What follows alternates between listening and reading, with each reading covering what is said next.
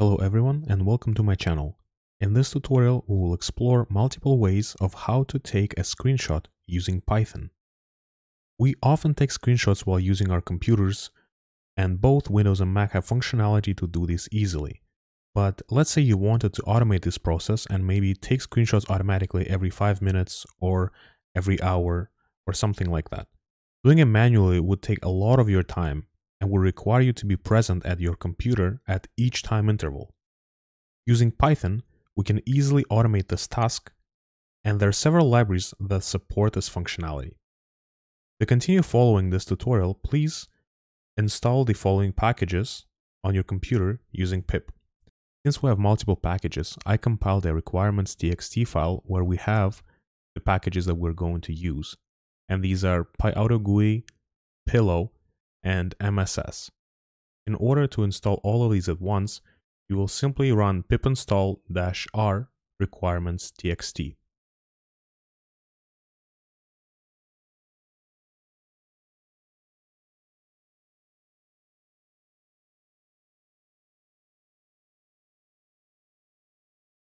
and you'll hit enter and it will take a few minutes to install since some of these libraries are pretty large.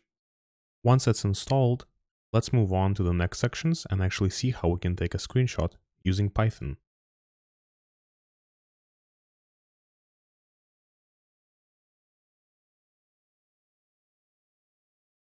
We will first explore how to take a screenshot with PyAutoGUI in Python.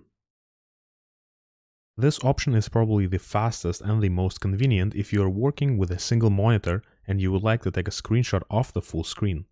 Alternatively, it is also a good option if you know the coordinates of the box that you want to screenshot. We will begin with importing the PyAutoGUI library.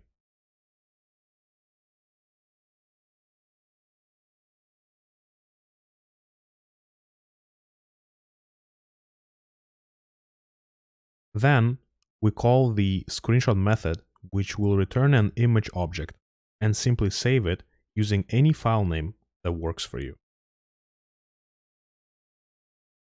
Let's create a new variable, myScreen, which will store the image object.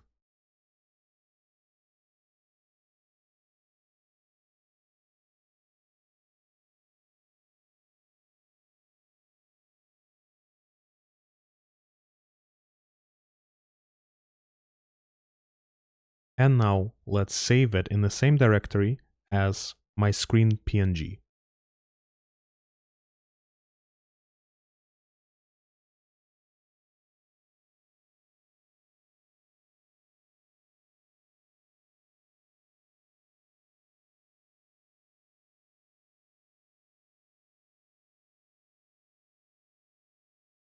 Let's run the code and see what we get.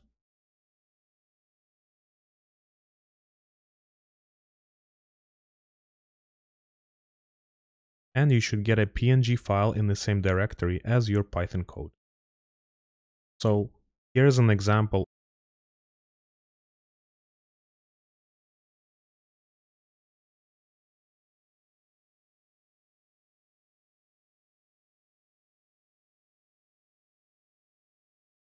Now let's see how we can take a screenshot with PIL library in Python PIL is one of the most famous Python libraries for working with images and is widely used for image processing. It is not a surprise to expect that there is going to be screenshot functionality included in it as well. Similarly to the PyAutoGUI solution, PIL allows to take a screenshot using Python in only three lines of code. To get started, we begin with importing the ImageGrab module from PIL library.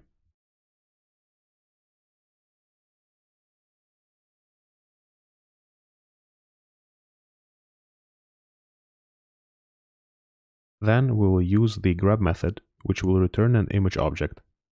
And we will simply save it using any file name that works for us. First, let's create a new object and call it my screen.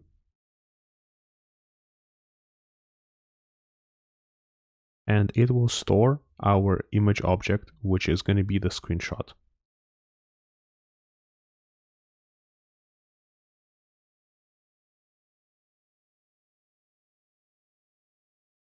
And finally, let's save it as a PNG file in the same directory as our code.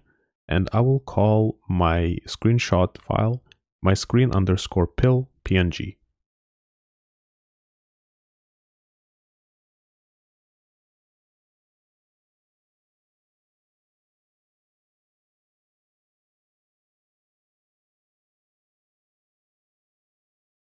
And let's now run the code and see what we get.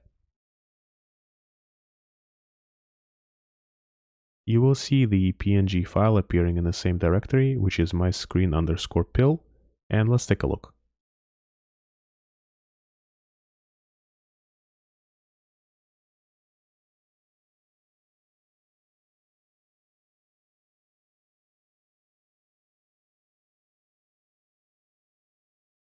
Now let's see how we can take screenshot of multiple monitors using MSS library in Python.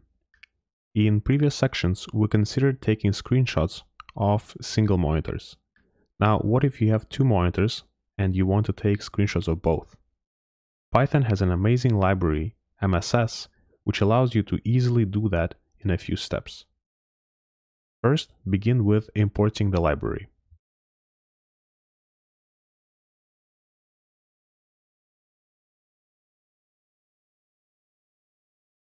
Now, to take a screenshot of the current working screen, you will simply use the shot method. In case of multiple screens, all you need to do is put the above code into a loop and add a monitor parameter to it. Since I use two monitors, I will simply use a range from 1 to 3.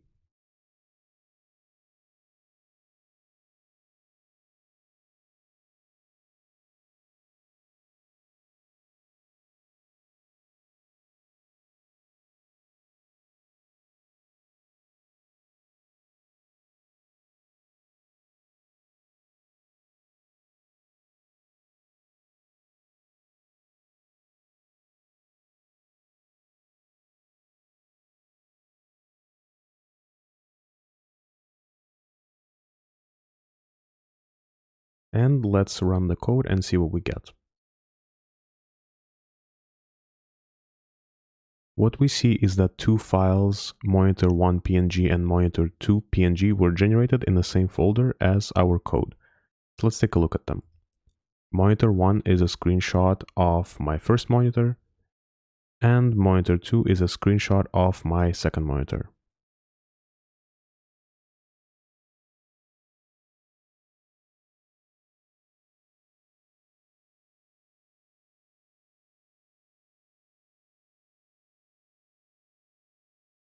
In this tutorial, we discussed how to automate taking screenshots using several libraries in Python, which included PyAutoGUI, PIL, and MSS.